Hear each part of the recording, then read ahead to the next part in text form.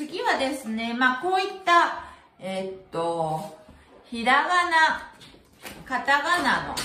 のものがありまして、紙をこう、ラミネートしてありますので、その上にこういったクリアファイルを入れてあって、こういった上に、えっと、ホワイトボードのペンで、こう、上からここになぞっていくっていうことを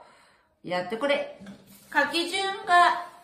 1、2とか書いてあるので、こう、書き順1、2、1、2という感じで、えっと、書くようにしていきます。年少さん、3歳9ヶ月って一応、年少さ前の感じなので、まあ、なぞり書きができるといいかなと思います。で、ひらがなを教えたら、カタカナもやりますけれども、まあ、あからうんまでいっぺんにやると子供さんは疲れてしまうので、まあ、あいうえおかきぐけこだけとか、今日はさしすせと立ちつてとだけとか、少しずつされると良いかと思います。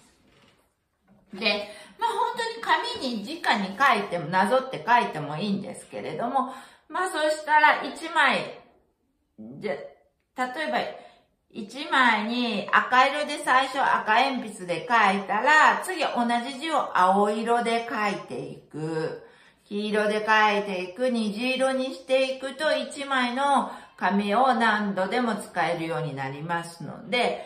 あの、いろんな色で同じ紙を書くといいと思います。ねあとですね、3歳ですと、こういった感じで、ぐるぐる書きとか、ジグザグ書き、四角書き、三角書きができるといいと思います。三角を書いたり、四角を書いたり、練習するといいと思います。で、いろいろな絵を、あの、書いてあげて、それをなぞったり、それを見ながら書いたりするのが、え、年少さん前はいいと思います。できると思います。結構、あの、上手な子は上手に書きますので、まあ、見て書く練習をするといいと思います。ねあとは、本を読んでいきますけれども、ひらがなで書いてあるような本を、まあ、指差しで、あの、書いていくと、お家でもいいかな。ひらがなで、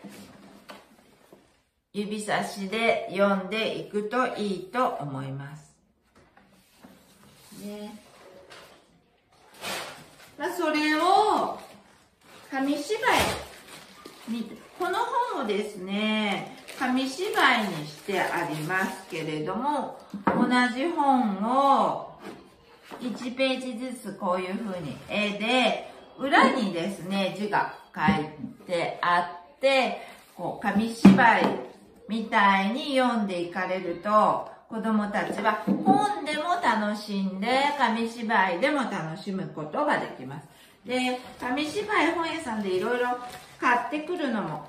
いいし、あの、図書館で借りてくるのもいいんですけども、まあ、その子その子に合わせた自分のお子さんの名前を書いた紙芝居を手作りをしてもいいと思います。ね、これは、ケイタくんのお買い物っていうことで、やあ、みんな、こんにちは。僕は4歳の男の子。ケイタだよ。僕の好きなものはみたらし団子とタコブツとラーメンです。よろしくね。ある日、僕が歩いていると、大きな茶色の犬が寄ってきました。ワンワンワンワンこちら。ケイタくん、僕と一緒にお買い物に行こうよ。いいよ。こういった感じで、えっと、手作りの絵本、紙芝居を作られても楽しいと思います。